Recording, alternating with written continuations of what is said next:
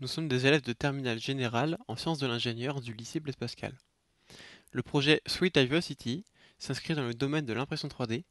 Il a pour but de permettre d'imprimer plusieurs matériaux et couleurs sur les imprimantes cartésiennes monobuse.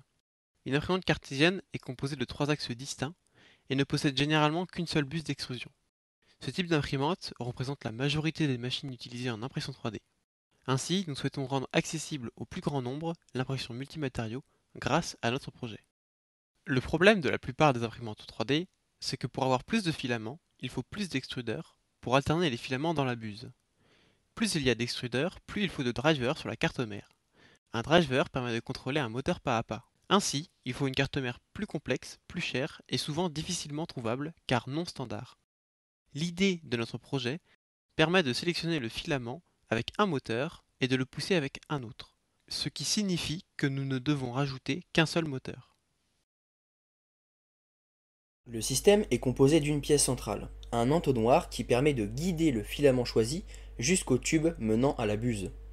Nous en avons fait deux versions. La première générait trop de friction.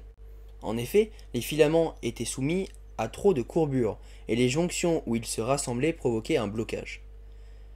Sur la deuxième version de l'entonnoir, les courbes et les jonctions sont plus fluides et les filaments suivent des trajectoires plus cohérentes afin de pousser les filaments dans ce tube, nous utilisons un axe sur lequel sont fixés des roues d'extrudeur.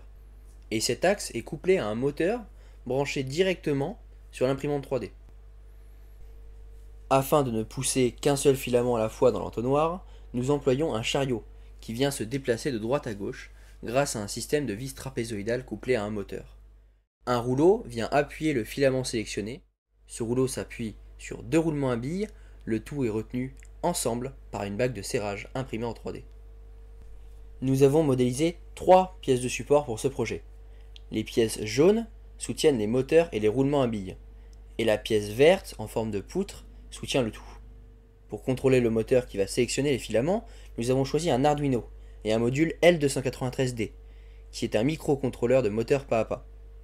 Afin de savoir quel filament choisir, le chariot de l'axe X va rester appuyé sur un temps précis sur un bouton en bout d'axe. Par exemple 8 secondes pour le huitième filament, 1 seconde pour le premier filament, etc.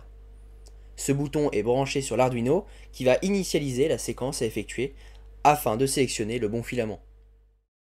La possibilité d'imprimer un grand nombre de couleurs permet de créer des objets éducatifs dans tous les domaines. Par exemple, pour les étudiants en médecine, il est envisageable de créer des organes en trois dimensions avec différentes couleurs et de les imprimer afin qu'ils puissent mieux visualiser ce qu'ils apprennent.